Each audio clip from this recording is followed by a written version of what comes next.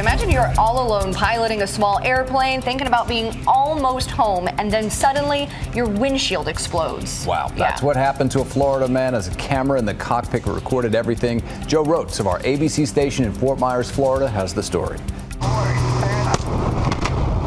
Never did see him. All of a sudden, the windshield just explodes. Heart stopping moments for pilot Rob Weber, something he's never seen in more than a decade of flying planes. I wasn't sure if the bird was in the plane with me, where he was, or what was happening. It was smooth sailing from Central Florida to Fort Myers Page Field.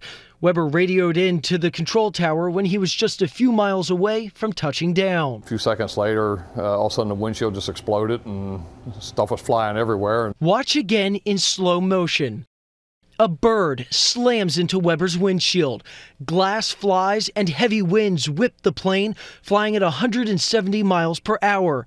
It sends it into a quick shake, but Weber's steady hands take over along with his pilot training. Just fly the frickin' plane. You know, that's, that's a phrase that everybody always tells you. A few moments later, watch as Weber reaches up to check himself, realizing he's been cut on the head. Head bleeds are really bad.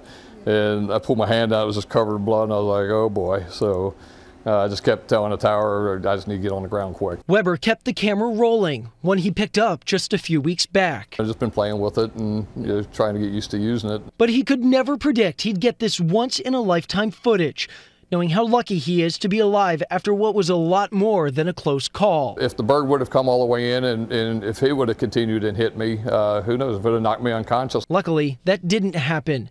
As Weber safely lands the plane, he's congratulated by Control Tower Radio. I checked in so calm.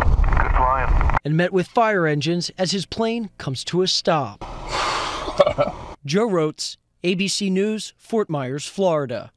That guy's a cool cucumber. Yeah, unbelievable. Wow. He only had the one cut to his head because did you see how big those yeah, shards of glass absolutely. were flying right at him? And the just... shock of it must have been incredible. Yeah, to keep his cool. And it actually, this things like this happen often enough, uh, the FAA says that 9,000 birds are reported struck annually by planes in the U.S., um, and that number keeps going up every year. And they actually believe that the number is higher. It's just that pilots don't report yeah. um, some of the less serious incidents. And deadly. Uh, since 1988, 250 people have died in accidents with planes hitting birds.